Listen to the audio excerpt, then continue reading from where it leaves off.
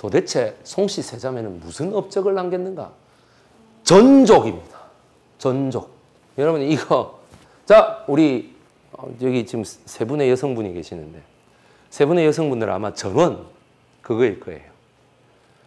중국에서 태어나셨으면 다 전족하셨을 거예요. 제가 생각. 어. 아무리 아무리 양반집으로 가도요. 결국에는 당신은 다섯 번째 마누라라는 이런 소리밖에 못 들을 거예요. 근데 정실 부인인 정실 부인이야. 갔더니만은 첫 위에 네 명이 있는데 너무 시집살이를 시킨단 말이에요. 얘들이 짜고 막 모르게 만들고 막 바보 만들고 막. 여성들의 사회 활동을 맞은 막은 전족의 폐지를 주장합니다. 숭아이링. 돈만 알았다고? 아유야 웃기지 마세요. 전족을 폐지해야 한다. 여러분 전족은 왜 생겼을까요? 언제 생겼을까요? 기원 후 그죠? AD 언제? 약 700년경에 생겼다고 많이 얘기하고 있습니다. 당나라 때. 혹자는 이걸 후한 시대 때 생겼다고 말하는 사람도 있는데 그거는 파급력이 전 국민으로 가진 않았을 거예요. 내가 봤을 때. EBS의 역사 채널 E 전족이 아름다운 이유라고 하는 거기에 보면 저하고는 좀 다르게 좀 이르게 잡고 있습니다. 시기를. 그거는 아마 제가 볼 때는 고려대학교 동양사학과의 학설을 따라간 것 같이 싶어요. 외대가 이렇게 얘기하게 악플 이런 거 다는 사람 너무 많아가지고요. 네가 EBS보다 정확하냐? 뭐 이런 거 있잖아. 네. 홍등이라 이 영화 여러분 기억나세요? 홍등. Raise the Red Lantern. 뭐 홍등이라면 어떻게 돼? 이렇게 올라가. 네, 그래가지고 그 홍등이 딱 간 집에 어떻게 돼? 그 남자가 가는 거죠. 그날 밤에. 그 다음에 어떻게 돼? 여성들의 사회활동 어떻게 돼? 전족이 되니까 어떻게 됩니까? 움직일 수도 없어요. 뛰지도 못해. 송경영이가 손문하고 결혼하겠다 했을 때 온 집안이 반대했을 거 아니에요. 첫 번째 손문이 첫 번째 비서였던 숭 아이링에게 구애를 했어요. 왜냐하면 신의 혁명은 전족과 축첩의 폐지다 그러니까 이 사람이 결혼을 이미 한 사람이지만 혁명에 대해서는 개혁적인 사람이 다시 필요하다. 외국 교육까지 받은. 그래서 숭아이링한테 얘기를 해요. 우리 결혼하자고. 숭아이링이 단칼에 잘라요. 단칼에 잘라요. 어, 근데 여러분 손문 보시면 좀 잘생겼어요. 멋있게 생겼어. 그냥 이렇게 저기 54세 할아버지를 생각하시면 안 돼요. 여러분들. 아시겠죠? 예.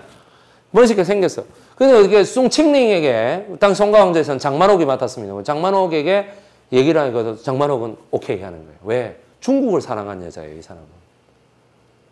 뭘 얘기하냐면은 중국의 지도를 그려놓고 철도를 막 그립니다, 손문이. 철도를 이렇게 그리면서 나는 총통이 되기 싫어. 나는 철도 장관이 되고 싶어. 라고 얘기를 합니다. 그러면서 철도를 그리면서 늘 숭칭, 숭경령하고 이렇게 맨날 숭칭링하고 얘기합니다. 어, 이쪽을 뽑을 게 좋을까? 이쪽을 뽑을 게 좋을까? 막 이렇게 얘기를 합니다. 물동량을 가지고 막 계산을 하고 이 혁명 중국에서는 여기서 돼야 돼. 이런 거에 이게 숭칭링이 가는 거예요. 야 세상 천지에 저런 남자가 이어 말고 또 있겠어? 그죠? 예. 그러고 가요. 근데 이제 그 결혼 후에 임신을 한번 하셨는데 그때 광둥성 군벌이 그 하이루펑에서 소비에트를 건설하려고 하니까 그 하이루펑 해륙풍이라는 지역이 있습니다, 지금. 그 김산의 아리랑에도 나오는데요. 하이루펑 소비에트에서의 이 함포 사격이 주어지는데 함포를 타고 이렇게 도망가려고 하는데 그 물에 그 함포 옆에 바로 물에 이렇게 팡 떨어져 가지고 폭파하는 바람에 그 함대가 이렇게 이렇게 기울었거든요. 함정이 빠지진 않았는데 함정이 이렇게 기울었는데 그때 숭칭링이 손문하고 이렇게 잡은 손을 놓쳐요. 그래갖고 이렇게 떨어져요. 바다로. 그러니까 바다로 이렇게 밀려왔거든요. 그래가지고 왜냐하면 한 달 동안 있잖아요. 이 풀숲을 막 이렇게 기어갖고 있죠. 살아나요. 선전인가 그쪽으로 이렇게 가요. 그래가지고 이제 손문이 그 뭐야 군함에서 다시 앉거든요. 온 그 혁명군을 다 풀어서 찾았다. 정말. 당신이 이렇게 살아 있다니 나는 이제 죽어도 여한이 없다. 근데 이제 묻죠. 아기가 어떻게 됐느냐. 그러니까 막 다시는 임신을 하지 못하셨습니다. 그때 제대로 처리를 못하셔서.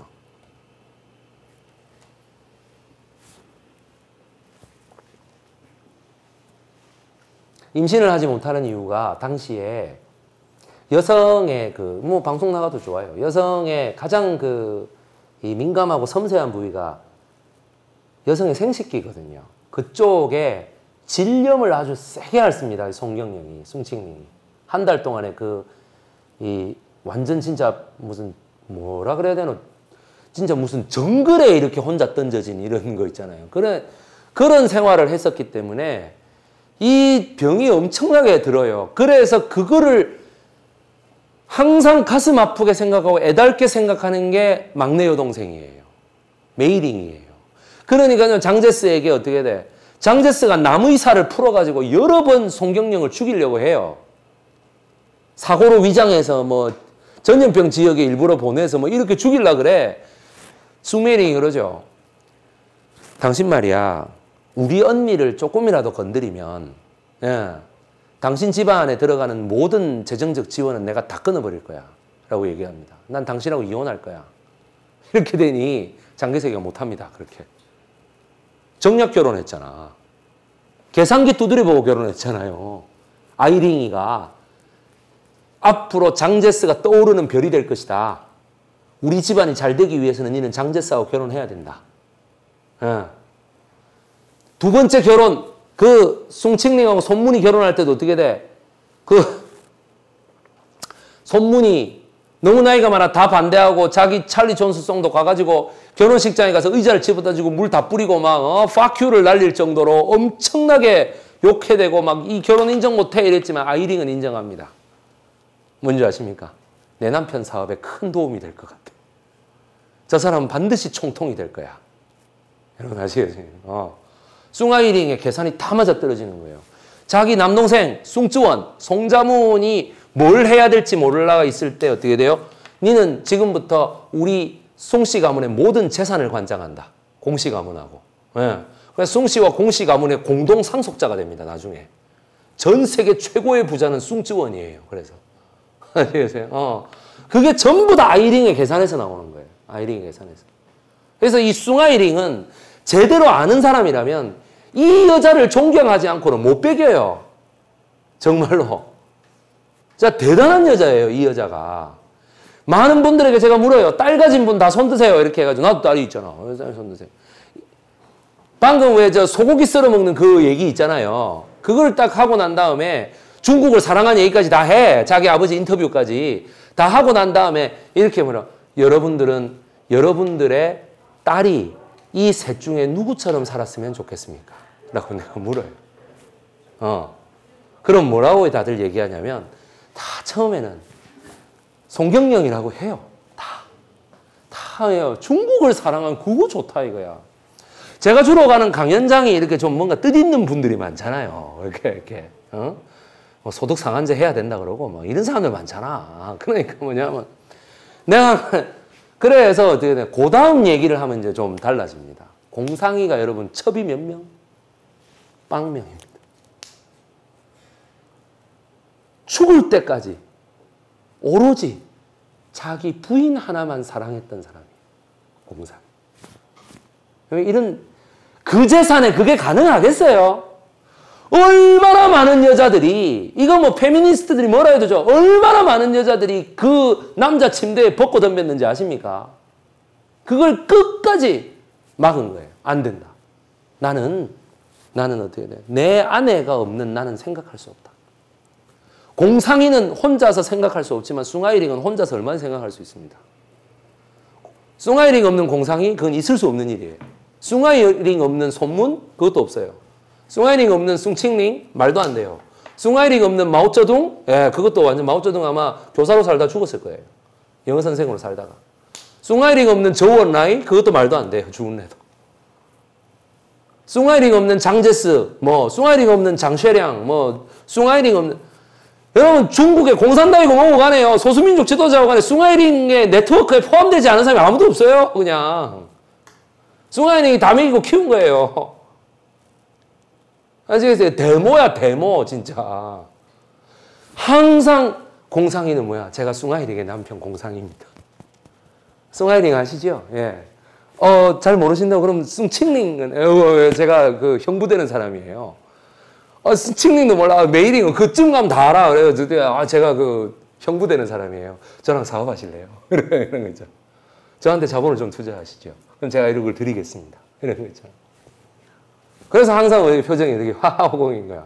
안 웃으면 돈이 오냐. 항상. 아이고, 형, 그, 뭐지, 저같집 세자매가 똑똑해갖고 내가 아주 참 큰 덕을 본다, 아주. 그죠, 그죠, 어, 그러고 있는 거예요. 여기는 전족과 축첩이 한꺼번에 문제가 되는 영화입니다. 여기가 어떻게 되면 첫째 마누라가 있고 둘째 마누라가 있고 셋째 마누라가 있고 그 다음 공리잖아요. 그죠?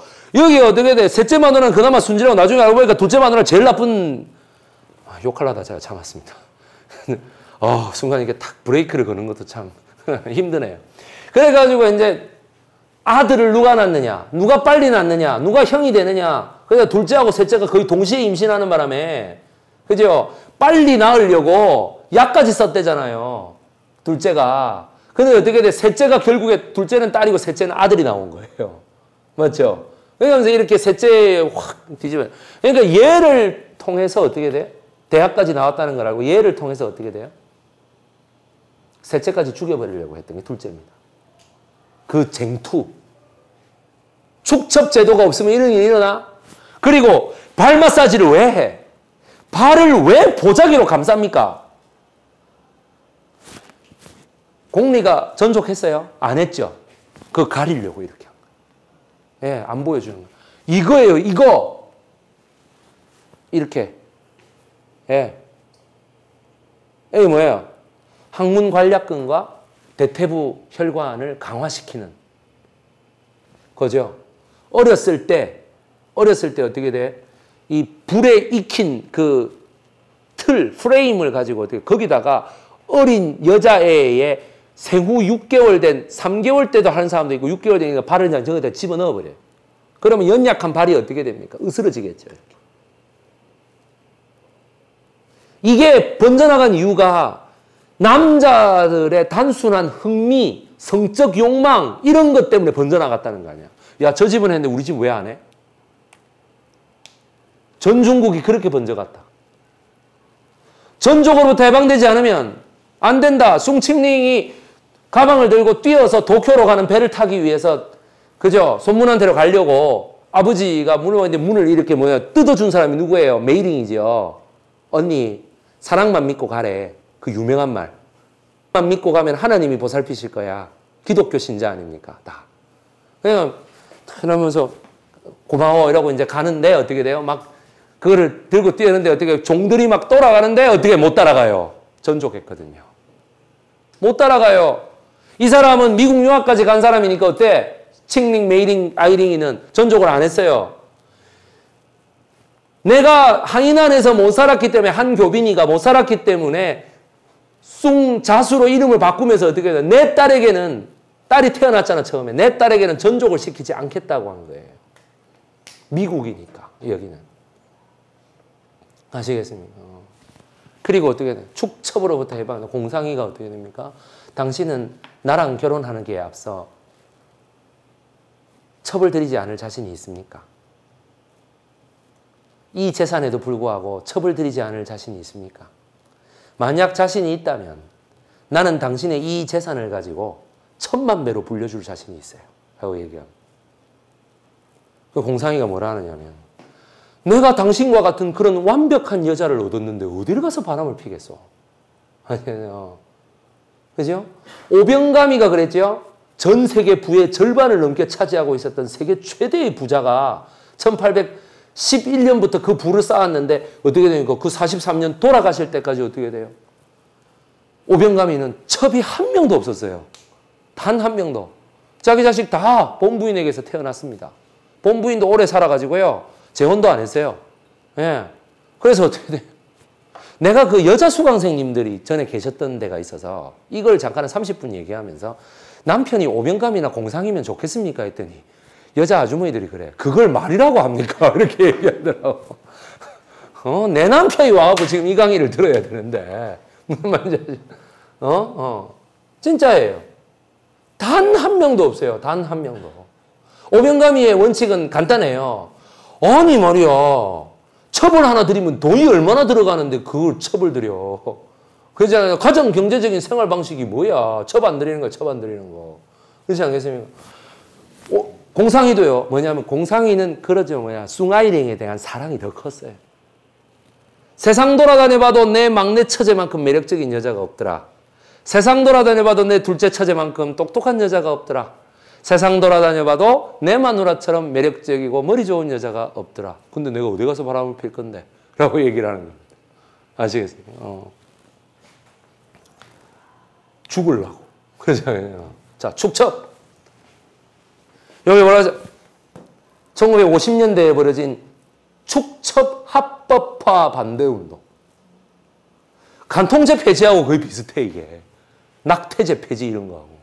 아시겠어요? 어. 여기 뭐라고 돼? 아내를 밟는 자, 나라도 밟는다. 구도, 아, 예, 뭐, 구호 끝내줍니다, 아주. 자, 잘 보세요. 이게, 어유 고관 대적이 딱 앉아가지고 내 첩실이거든요. 이러고 이제 찍는 거야. 이 사람의 그때 나이가 40세. 이 여자 두 분의 나이가 16살, 17살. 첩이죠, 첩. 아시겠습니까? 첩. 본부인은 여기 사진에 들어가시다 보네. 그 기분 나쁜 유명한 말 있잖아요. 손은 누가 돌볼 거야? 손은 하는 거 있잖아. 아시겠습니까? 여성에 대한 이 폭력 잘 읽어보세요. 권력, 재력, 무력 등 모든 사회 권력을 쥔 남성 상층부에 대해 여성들은 그 어떤 것도 소유할 수가 없었습니다. 인류 역사 만년 동안. 모권 사회, 모계 사회 좋아하시네요. 옛날 그 문화 인류학자, 고고학자들이 하는 말. 아니에요. 옛날 고고학 유적들은 전부 다 전쟁 유적이야. 전쟁 유적. 전쟁 유적인데 뭔 놈의 여자들이 전쟁을 했단 말이에요. 남자들이 하는 거지. 아시겠습니까? 전쟁을 하는데 여자들한테 권력이 있다는 게 말이 돼요?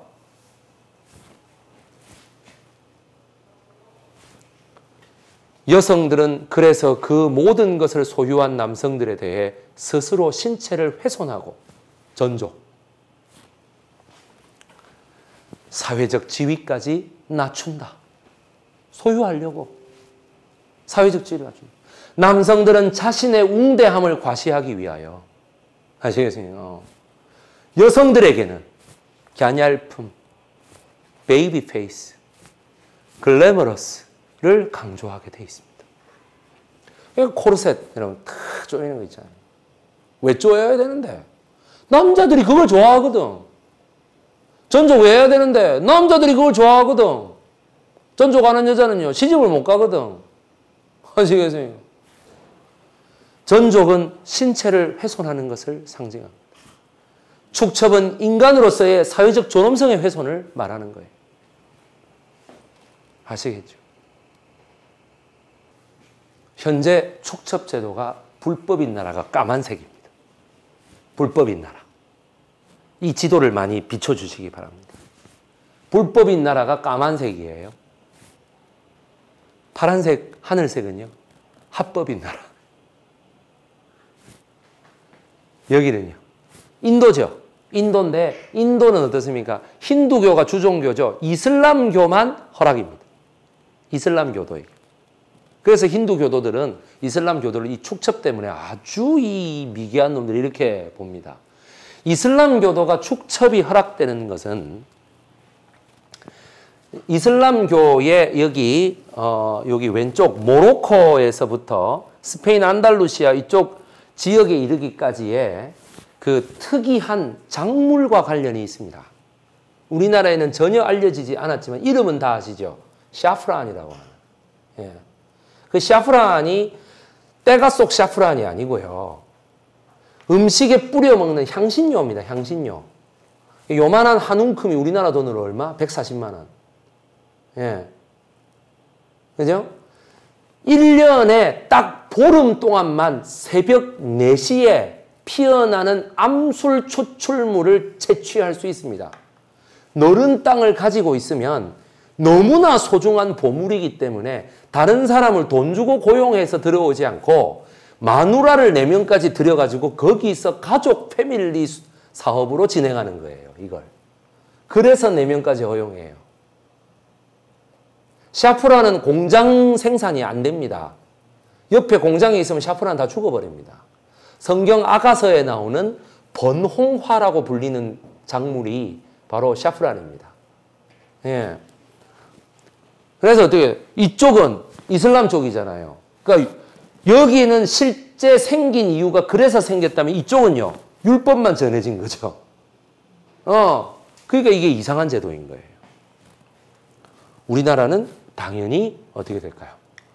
없죠. 예. 축첩하면 안 됩니다.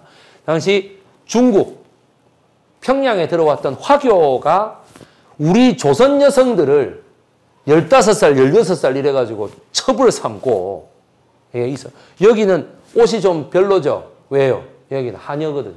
같이 사진을 찍은 거야, 선교사가. 어린 첩, 예쁜 첩을 드리는 게 뭐야? 사회적 지위의 상징이었던 거예요. 박차정 장군은 뭘로 돌아가셨습니까?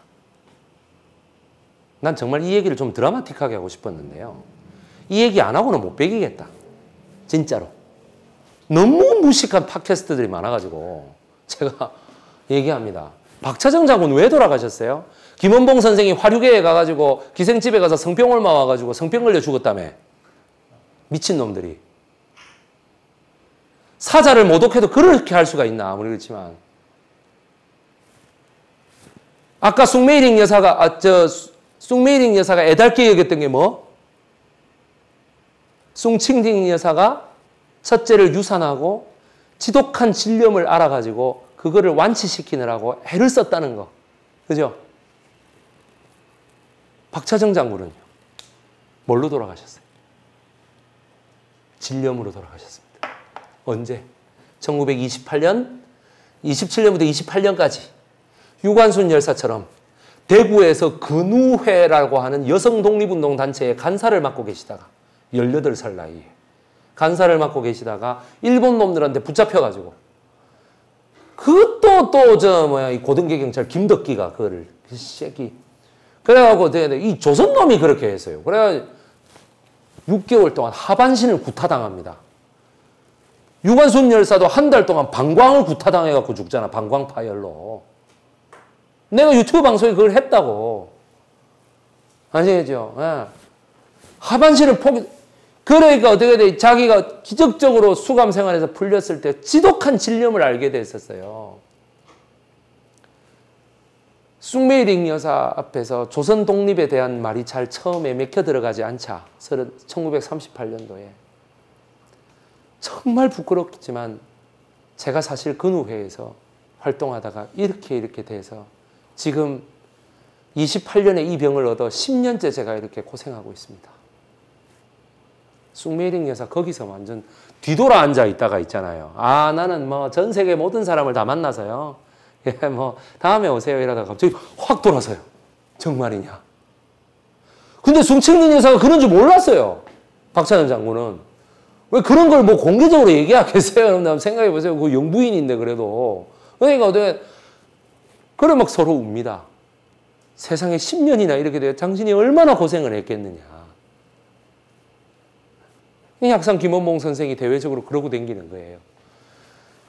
내 마누라가 질염을 알았다라고 말하면 사람들이 전부 다 뭐라고 하면 임신 못 하겠네 뭐 이 소리만 하니까 아시겠습니까? 자기가 그런 거야. 아 내가 저 기생집 가가지고 옮겨왔어. 내가 나쁜 놈이 돼야죠. 그죠? 나는요, 이렇게 생각합니다. 역사를 전공하지 않은 팟캐스터 분들에게 제가 말씀드립니다. 뭐 초밥집 하시다가 이렇게 정치 팟캐스트 하시고 이런 분들한테 제가 말씀드립니다. 하지 마세요. 이상한 헛소리 하실 거면. 저도 이제 구독자가 5천 명이어서 이런 소리 좀 할 수 있을 것 같습니다. 정말 기분 나쁘거든요. 제가 서울의 소리에 가가지고 이거를 정확하게 집었습니다. 하지 말라고. 이런 소리 더 이상 하지 말고 댕기시라고.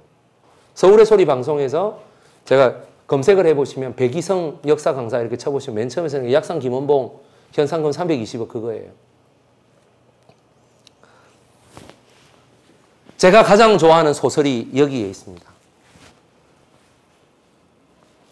펄벅 여사가 1931년에 지었던 분열된 일가 대지라고 하는 The Good Earth라고 하는 게 있고 일부 그 다음 2부가 뭐냐면 왕룽 주인공 왕룽의 그 세 아들 왕이, 왕얼, 왕산 이 세 명의 아들들이 하는 더 선즈 아들들이라는 게 있고 3부가 뭐냐면 세 번째 아들 왕산이고 군벌로 활동하기 때문에 왕후 호랑이라고도 불렀는데 그 호랑이의 아들인 왕원, 왕유안의 이야기입니다. 그래서 제가 인터넷 아이디가 예 노무현 대통령의 수인 번호 0-33번 하고요. 분열의 인가의 주인공 유안을 합쳐서 유안33이라는 옛날에 내 아이디가 있었어요. 예, 그래 아이디가 있어 너무 좋아했어요. 제가 이거를 장광록 교수가 번역하는 거 이거. 그래서 여기에 보면 나중에 이 역사를 다 알게 돼서 알게 됐는데 여기에서 아이 저 왕유한 주변에 존재하는 여자분들이 다 이 세자매 캐릭터를 가져온 거예요. 펄벅 여사가. 예, 가져온 거예요. 첫 번째. 왕후가 자기의 아들을 생산하기 위하여 한 명의 마누라만 들이면 확률이 50%잖아요. 딸이 나올 확률이. 그러니까 두 명의 여자를 드려요. 점쟁이한테 물어보고. 두 명의 여자를 드리는데 뭐냐 하면 왕유한이 두 번째 마누라의 아들입니다. 첫 번째 마누라는 여자애를 낳았습니다. 그래서 첫 번째 마누라에게 그 첫 번째 마누라를 본체만체하죠. 왕후가 본체만체하고 내 아들 이리 와 하면서 막 이렇게 하고 이렇게 합니다. 한 번은 한 3, 4일 정도 지난 날 예쁘게 옷을 입혀서 이 얘가 장군님 딸입니다. 한번 봐주세요. 라고 이제 가니 예쁘네. 이 소설에 나옵니다. 예쁘네. 그러니까 그날 밤으로 그 첫째 마누라가 떠납니다. 그 거기 군벌을 떠나요. 그리고 어떻게 되냐면 그 첫째 둘째가 둘째가 은행가거든요. 왕얼이라고 하는 애가 은행가입니다. 그 은행가의 집으로 갑니다. 이 부인이. 그 은행가는 그럼 누구를 본딱했어요? 공상이를 본딴 거죠. 항상 웃고 다니면서 소설 속에서도 나랑 사업하실래요? 이거를 입에 달고 다니는 사람. 예, 아시겠습니까? 그러니까 역사를 알기 전 내가 19살, 20살 때 이 소설을 읽어 너무 좋아했지만 이제 와가지고 역사를 알고 보니 다 그 캐릭터야. 펄벅 여사가 노벨 문학상을 38년도에 받은 게 그냥 받은 게 아니에요. 아시겠죠? 그러면서 어떻게 되느냐? 어, 그 큰 딸하고 나중에 유한이 만나요. 이 왕후하고 너무 의견 차이가 심해가지고 어느 날 갑자기 이 시종이 안 됩니다 이랬는데 시종을 때려버리고 이렇게 나오거든요. 나와가지고 그 버스를 타고 옛날에 우리 큰어머니가 그 큰어머니 아닙니까? 첫째 부인이가 큰 어머니가 있는 데가 어디였더라? 이러면 중국 난징으로 갑니다. 그래가지고 남경으로 가서 어떻게 됩니까? 그 노부인이 그 노부인이잖아. 이름은 끝까지 안 나와요. 노부인이 누구? 칭링의 캐릭터예요. 칭링의 캐릭터. 송경령의 캐릭터. 그 다음에 어떻게 돼? 아이란이라고 하는 소설 속의 이름인데 애령이 아이링. 아이란 이렇게 이름을 바꾼 거죠. 그런데 어떻게 돼? 자기 펄벅 여사가 가장 좋아했던 메이링은 그대로 메이링이라고 써요. 그럼 38년도에 38년도에 의회에서 연설을 했으니까 쑹메이링 여사가 노벨 문학상을 펄벅 여사가 대지로 수상하는 데 이게 영향을 안 미쳤을까요? 그렇게 한번 생각해 보세요. 증거는 없어요. 증거는 없는데 사람 멀쩡한 사람 보고 성병 걸려 죽었다며. 아니겠습니까? 나는 왜 증거 없이 그냥 추론해서 얘기하면 안 되는 이유가 뭡니까? 그 사람 해도 되고 난 안 해도 됩니까? 하면 안 돼요? 맞죠? 그러니까 어떻게 장개석하고 이 명력 노부인이 양녀를 하나 데리고 있는 거야. 그 갔더니 그 양녀가 처음에는 요만했는데 미국 유학을 갔다가 이렇게 오니까 미국 유학 가는 것도 좀 사실 그거예요. 혁명 활동이 공산당 혁명 활동을 하다가 붙잡혀 그래가지고 왕을이 엄청난 뇌물을 써가지고 이 왕유안을 꺼내요.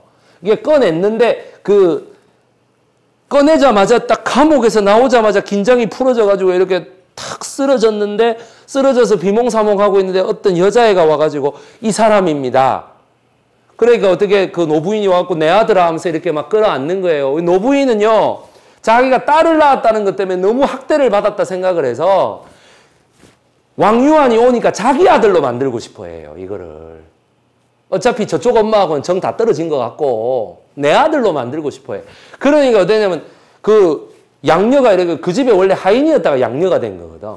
그럼 여기 이 노부인이 그 뭐야 바로 그 질로 그냥 배를 태워갖고 미국으로 보내버린단 말이에요. 이거는 이제 숭자수의 모델을 따은 거죠. 그 밀항하듯이 막 이렇게 간 거니까.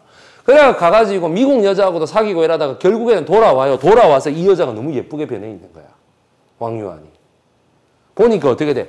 혁명적 사고방식으로 아주 무장돼 있어, 이 여자가. 여기는요. 여기는 돈 쓰는 거야. 아주 환장해 있는 거야, 이 여자는. 아직 내가 자기 누이 동생은. 근데 어떻게 돼? 세계적인 대스타가 돼 있는 거예요. 연예인이 돼가지고. 아, 이 부인은요. 메이링을 읽고 싶지 않아 해요. 다른 여자를 찾으라 그래요. 그래서 이 여자, 이 노부인하고도 의절합니다. 의절하고 메이링하고 자기 아버지가 분열된 일가 제일 마지막에 뭐냐면 자기 아버지가 죽는데 그 왕후가 죽는데 왕유한이 오거든. 근데 어떻게 돼? 메이링하고 그 전에 막 좀 다툼이 있었어요. 그러니까 메이링이 올지 몰랐는데 메이링이 이렇게 온 거예요. 아, 사실 메이링하고 아무 관계가 없잖아요, 이 사람은. 근데 어떻게 돼? 오는데 어떻게 돼? 왕후 장군이 이제 최후를 맞이하고 있는 그 옆에 이렇게 서요, 메이링이. 그러면서 메이링한테 이럽니다, 왕후 장군이. 딸아, 미안해. 라고 얘기합니다, 자기가. 내 딸이구나, 이. 미안해. 하다 보니까 딱 손을 잡아요. 내 딸. 그러니까. 왕유한이 아니라고 딱 얘기하려고 하는데 어떻게 메이링이 놔두세요. 노부인의 양녀면 내가 딸인 거나 마찬가지니까 그냥 착각하게 놔두라고 그렇게 얘기를 합니다. 꼭 죽는 사람 앞에서 전 딸이 아니거든요. 이럴 필요는 없잖아요.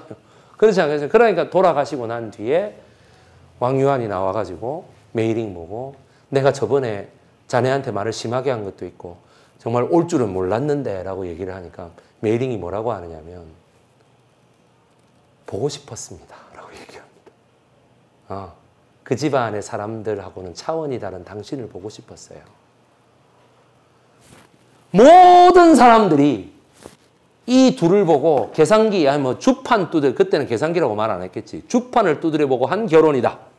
돈을 보고 했다. 권력을 사랑한 여자다. 이라는데 뭐야, 펄벅이 마지막에,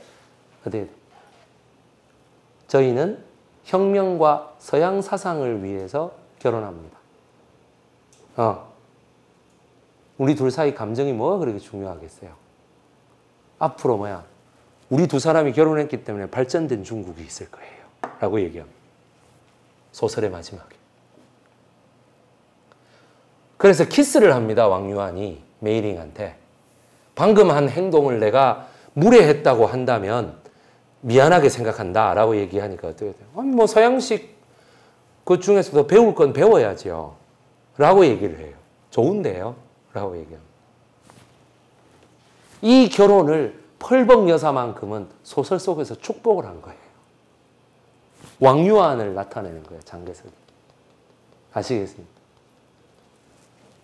물론 미국 유학 갔다 온 적은 없지. 장개석이가. 영어를 못하지. 아시겠어요? 일본말만 할 줄 알지. 중국말하고. 하하콩의 결혼식 사진. 송경영의 결혼식 사진이 동쿄의 스튜디오에서 찍었대요. 그 사진관에서 이렇게. 자, 찍어요. 그러면서 탁. 그래서 동영사람들이 다 그랬대. 신랑이 나이가 너무 많은데? 그죠? 너무 많은데? 헬리동. 이러면 여기에 전실 부인들은 전실 부인들은 사실 좀 불행하게 됩니다. 왜? 전족한 여성들이었거든요. 그야말로 정략 결혼이었거든. 이게 어느 날 가보니까 장가 가야 된다 해가지고 이렇게 하루 단장하고 이렇게 떡 섰더니 어떻게 돼요? 어, 얼굴도 모르는 여자가 이렇게 와 있더라. 그러니까 어떻게 돼? 이미 개화 사상에 물들어 있는 손문과 장제스에게는 이런 여자는 맞지 않는 거예요. 자식은 낳았지만 안 맞는 거예요. 그러니까 어떻게 돼? 왜 이런 기독교로 다 이렇게 무장해가지고. 이런 사람이 있잖아요. 여러분, 조선 독립을 하는 데 있어서 혁혁한 공로자는 장제스하고 쑥메이링입니다. 마오쩌둥이 아니에요. 칭링이가 말했던 그 말, 여러분 이것만 생각하시면 돼요, 이거. 이 발. 지금은 없을 것 같아요? 성형수술하는 여자분들 한번 생각해 보세요. 가슴 키우고 일부러 허리 잘록하게 만들고 이런데 지방 흡입하고 왜 그래요? 건강을 위해서 하시나요? 건강을 위해서 지방 흡입하고 보톡스 맞으면 건강에 좋아요? 살이요 여기를 이렇게 째가지고 이렇게 붙이는 거잖아요 이렇게 이쪽에 이게 그러면은 처음에 일주일 동안 이게 씹지도 못해요. 그러면 사람들이 그래 일주일만 고생하시면 돼요. 일주일 고생하시면 천 이제 평생 가요 평생 아시겠습니까? 눈썹도 이렇게 올리면 이게 이게 이게 닫아지지가 않아요 이렇게 아시겠습니까? 어 신체의 훼손 여러분 사회적 지위와 존엄성의 격하 이걸 잘 생각해 보세요. 주체적인 성평등 운동, 성교육 운동이라는 게 왜 일어나는지 아시겠습니까? 그냥 단순하게 섹스를 잘하기 위해서 이렇게 생각하시면 안 된다고. 아시겠어요? 어. 허스토리라고 하는 것이 이렇게 의의를 가집니다. 내가 잘 살아야겠는데, 자, 그래도 이렇게 생각할 수 있죠. 이 여자분들은, 이 여자분들은, 이 국공합작에 이 사진 설명 안 했다. 이 모택동하고 장제스하고 국공합작 때 이러고 있는 거. 건배하고 있는 거. 지금 이 상황이 어떤 상황인지 아십니까? 모택동은 장제스의 추격전에 36년도까지 장제스의 추격전에 어떻게 돼? 자기 마누라 첫 번째 마누라 양계해 두 번째 마누라 하자정까지 다 잃었어요. 아시겠어요? 양계해가 죽으니까 하자정이 된 거거든. 양계해는 뭐예요? 자기 어렸을 때 서당 훈장의 딸이에요. 이게 거의 뭐 비토리오 엠마 저 누구야 그 베르디하고 거의 비슷한 스토리인데 이게 훈장의 딸이 미모로 아주 유명했거든요. 그래 모택동하고 결혼을 해요. 제자하고 결혼한 거죠. 그 결혼을 했는데 이 사람이 장제스가 물어요. 변절할래? 아니면 어떻게 돼? 죽음을 택하겠느냐? 깨끗하게 뭐야? 난 죽겠다라고 얘기한 거야, 양계해가. 아시겠습니까? 어, 죽겠다. 18살짜리가. 아시겠어요? 어, 죽겠다 이거요. 내 서방의 이념을 배신하는 난 당신한테 갈 생각 없다. 아시겠습니까? 와, 걷다 대고 다 해보지. 일강 수강생들 그 얘기해보세요. 블레스 파스칼처럼 또 이상한 소리 한번 해보지. 그 양계의 콧대가 새치만 낮았더라도 역사가 바뀌었을 텐데. 이, 이 난리 한번 또 쳐보시지. 어? 그런 거는 또 똑같다고 생각 안 해.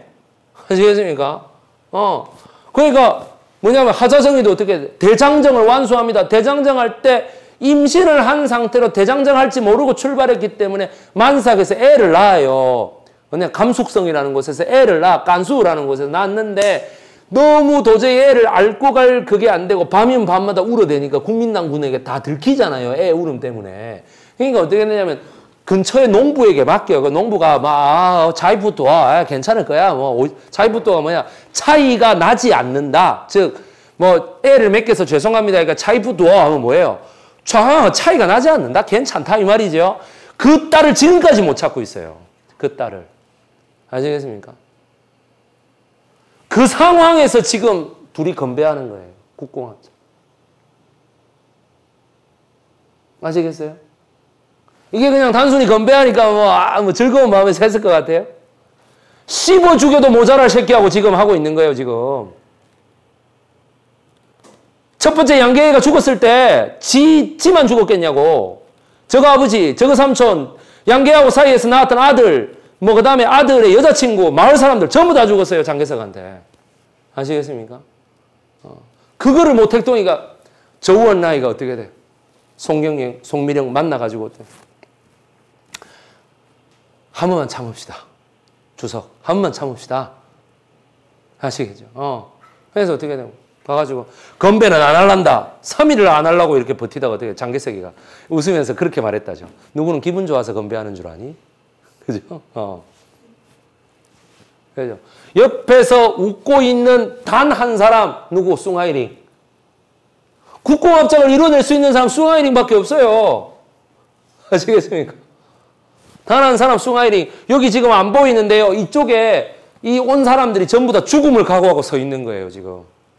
이렇게 할지 몰라서.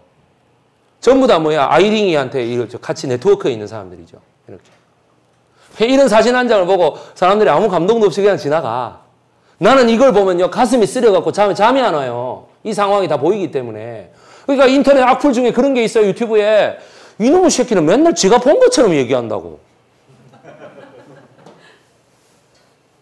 다른 강사는 그렇게 안 하는데 아시겠습니까? 그래 뭐냐면 친중 사대주의자다 뭐 이러고 말이죠 저한테 송혜령, 송경영, 송미령 요 세 사람은 이제 다음 시간으로 접어드는 하나의 기준이 됩니다. 요 세 사람은 뭐야? 일단 저거 아버지는 빈농이지만 사업을 일으켜서 중국 최대 부호 중에 한 사람이었잖아요. 일단은 애령이가 태어났을 당시가 부잣집이었잖아. 그리고 뭐냐면 자기 스스로 주체적인 의식을 가지고 있었던 게 적어도 7살 때쯤이나 보면 이미 떼부자잖아요, 여기는. 정말 아무것도 안 가진 여성. 클레오파트라는 그래도 그게 황태녀잖아요, 그게. 공주잖아, 공주. 처음에 태어났을 때부터. 프톨레마이오스 왕조의 공주잖아. 여기는요, dynasty잖아요. 이런 여자가 아닌데 성공한 사람 없어요? 라고 묻는 사람들이 있어서 제가 다음 시간 예보로 이 여자를, 이 여성분을 여러분께 소개합니다. 다음 시간 예고입니다. 기승전으로 보면, 기승전결로 스토리 구조를 봐서 4강으로 본다면 전이 뭐야? 절정에 해당되는 부분. 이때는 뭐예요? 노래하는 역사 강사로 다시 돌아옵니다. 제가. 왜? 이 여자 직업이 가수예요. 아시겠어요? 이 여자 직업이 가수라고. 그죠? 예. 왜냐면 에비타. 그러니까 미국 배우 누가 맡았어요? 배우가 아니고 가수지. 머다나가 맡았지 않습니까? 머다나가. 마돈나라고 발음하면 또 재미교포들이 댓글 달아요. 아시겠어요? 발음 좀 똑바로 해라. 이러면서 막 댓글 달아요. 록펠러도 록펠러라 그러니까 남부 사투리라면 그게 로카펠라가 된다네. 내가 뭐 그런 것까지 생각해야 되나. 그래서 차단했습니다. 제가 그분을. 그래서 이제 보면 이분이 실제 에비타의 모습입니다. 대통령궁 앞에서 야, 왼손을 이렇게 해가지고 말이야. 키 158cm의 여자가 말이야. 와, 야, 33살에 돌아가신 불꽃 같은 인생. 인류 역사 8천년에 이보다 더 드라마틱한 여성의 인생은 없습니다. 어, 에비타라고 불리 여기 뭐라? 페론, 페론 해놨죠. 페론. 죽었으나 20년 동안 죽지 못했던 여자. 그게 바로 그게 도대체 뭔 소리야? 다음 시간에 확인하시기 바랍니다. 오늘 제가 말씀드립니다. 신촌대, 서초대, 마포대 라인으로 강의를 할 경우 이게 프리미엄이 아니라 디스카운트가 매겨져 가지고 야, 저서 뭐 그렇게 수준 높은 강의가 나오겠냐. 중국? 야, 그게 뭐 중국이라는 게 뭐 오늘 강의 들어보신 소감이 어떠신가요? 이 여자들이 그냥 몰라도 되고 막 하여 뭐 별가인 여자들이 이런 생각이 드세요? 어떻게 하면 내가 저 여자처럼 살 수 있는 생각 안 드세요? 내 하는 말이. 에비타 이런 거는 또 사람들 많이 알려졌어. 이 영화가요. 마돈나도 마돈나인데, 에? 머다나잖아. 여자 주인공이 머다나는 한데, 남자 주인공은 안토니오 반데라스예요. 그냥 아주 이 흥행 필승 카드를 다 내세웠지. 그럼에도 불구하고 사실 미국에서 흥행은 잘 안 됐어요. 예. 에비타가 15살에 부에노스아이레스에 와가지고, 부에노스아이레스에서 가수 생활을 뭐 36극단에서 할 때에, 16살에 누구의 첩으로 이렇게 들어갔는데 그 첩씨를 그 이게 단독 주택이 아니라 이렇게 세 가구가 같이 사는 연립 주택이었대요. 그 연립 주택의 오른쪽 끝에 사는 애하고 친했대요. 에비타가.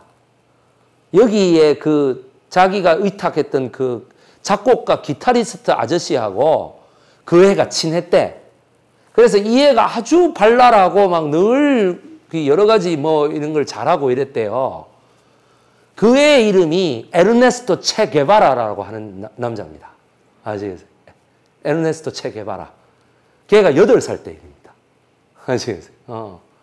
그래서 에비타가 거의 그 체게바라의 그 20살 때까지를 에비타가 잘 알아요.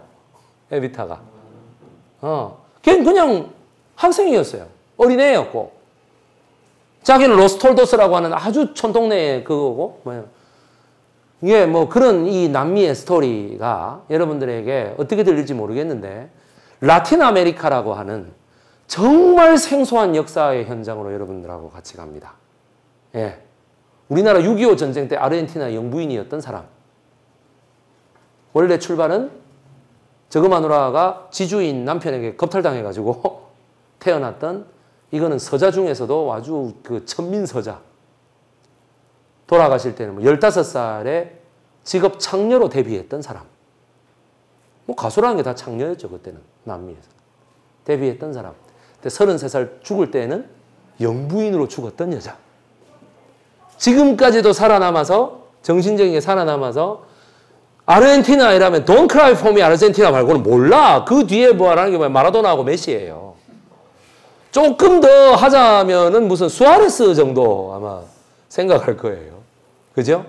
뭐 테베스 생각하는 사람도 있지 싶어. 안정환 때문에. 예, 그러니까 박지성하고 친구 뭐 이랬던 어, cry for me 아르헨티나 빼면 아무것도 안 돼. 아르헨티나는. 아시겠어요? 어. 아르헨티나, 뭐, 아르헨티나가 뭐 졌다 하면 무조건 아르헨티나에 나를 위하여 울지 말래. 언제 울었다고. 그죠? 어. 그러니까, 요 다음 시간, 이 생소하고도 매력적이고도 정말 전 세계적으로 이거보다 더한 인생을 살았던 여자는 없다라는 차원에서 여러분께 아, 강의하고 오늘 뭐 여러분들 말씀 한번 쫙 듣고 다시 제 마무리 발언 좀 하고 끝내도록 하겠습니다. 강의 여기서 마치겠습니다. 예. 왜 제 강의가 조회수가 높을까? 왜 구독자가 많이 들어오나? 이제 천명이 넘어가면은 보통 유튜버 구독자 천명이 넘어가면 수익 신청 기준, 수익 기준화 이렇게 얘기하고요. 2천명이 넘어가면 파워 유튜버. 이 사람은 어느 정도의 유튜브계에서 좀 알려지는 사람이다. 3천명, 4천명 구간은 뭐냐 하면은 그 유튜브 social networker라고 이 저기 인플루언서 이렇게 얘기합니다. 영향을 미칠 수 있다. 5천 명이 넘어가면 어떻게 될까요? 5천 명이 넘어가면 이게 구간이 3만 명하고 똑같습니다. 5천 명부터 3만 명까지. 뭐냐? 이 사람은 거의 하나의 언론 매체의 역할을 한다는 거예요. 이 사람이 한마디 하면. 그만큼 노출수가 높고, 예, 인공지능이 많이 해준다. 특히 시청 시간이 뭐 내가 보니까 그 유튜버들 보니까요. 123회 뭐 요렇게 이게 한 달이 지났는데 123회 이랬는데 구독자만 높은 경우가 있어요. 시청 시간도 3분에서 5분 정도밖에 안 나오는 사람도 많아요. 그러면 저는 이게 뭐냐 하면은 어 5천 명이 넘었는데 좋아요 숫자가 좋아요 숫자가 강의에는 거의 대부분 100개가 다 넘어가는 거예요. 200개, 300개, 지금 록펠러나 오병감 같은 경우에는 거의 1000개가 넘어가는 이런 상황입니다. 좋아요 숫자가. 그 다음이 어떤 평균 시청 지속 시간이 록펠러 같은 경우는 37분. 그, 그, 저번에 1강을 했던 클레오파트라 같은 경우 1부, 2부가 다 뭐야? 30분이 넘어가요, 지금. 그럼 이게 뭘 의미하는 걸까, 사람들에게? 그만큼 역사 강의라고 하는 걸 굉장히 고파했다는 거예요, 사람들이. 많이 궁금해. 이게 뭐냐면 내가 막 뭐냐 그 기존의 학자들을 막 이렇게 까면서 일하는데 뭐냐면 이 아무 지식도 없는 사람이 막 신경질 내면서 그냥 가는 것 같지는 않거든요. 그게 아니고 진짜로 어떤 지식을 가지고 막 애달바했던 사람이 그걸 가지고 막 분노하면서 이렇게 가는 것 같단 말이에요. 제가 다이어트를 했잖아요. 이 유튜브 나가도 좋아. 다이어트 했는데 최근에 제가 제가 한 다이어트를 누구한테 소개를 해서 팔았어요, 제가. 아시겠습니까? 근데 그분이 있잖아. 그분 제 유튜브에 아주 엄청난 구독자예요. 제가 이 말 하면 볼 거예요. 제가 보시라고 하는 거예요. 그분이 뭐냐면 자기가요. 정말 오랫동안 이렇게 삶에 의욕이 없었대요. 내가 오래 살겠나 이런 생각도 좀 가지고 의욕이 없었대. 그랬는데 정확하게 한 달 전부터 그 유튜브를 듣는데 추천 동영상을 하는데 뭐지 그 뭐 하나 사도세자와 영조라는 게 이렇게 떴더래요. 그래서 이제 보는데 와 이거 뭐지? 이라고 그때부터 내 동영상을 한 달 동안 있죠. 밤에 잠도 안 주무시고 막 들었다는 거예요. 그러면서 뭐냐면 내가 살아야 되겠다.